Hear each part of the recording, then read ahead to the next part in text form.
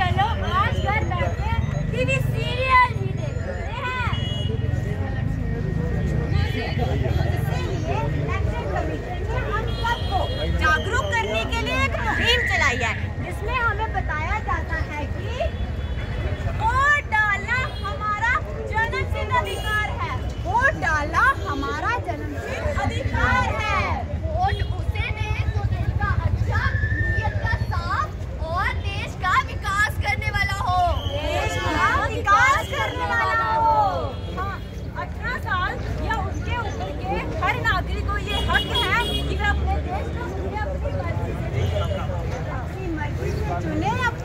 शांति से सुने।